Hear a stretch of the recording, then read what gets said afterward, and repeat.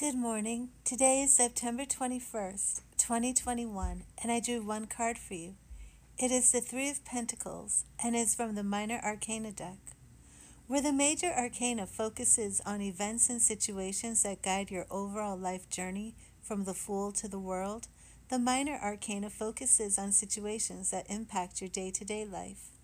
In Tarot, we see circular journeys.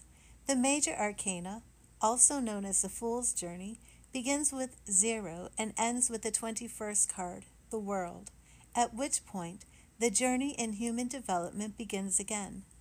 The same type of journey is seen in the minor arcana, with aces signifying the start of events represented by the four suits wands, pentacles, cups, and swords that culminate or end with a 10 card of the suit.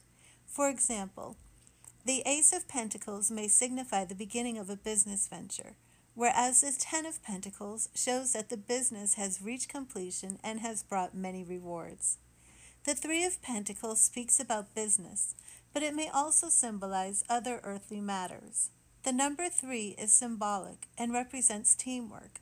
When I see the Three of Pentacles in a reading, I interpret it to mean a business venture that may involve three people or any situation where three people are in a group or team setting.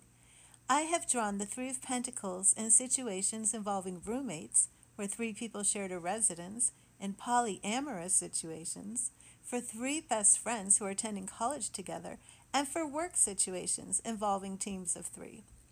For today's reading, I asked what type of energy we needed to embody, and I drew the Three of Pentacles.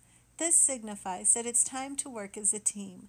Many times, people want to tackle problems by themselves. However, this isn't always workable, and some tasks are better accomplished by more than one person than solo.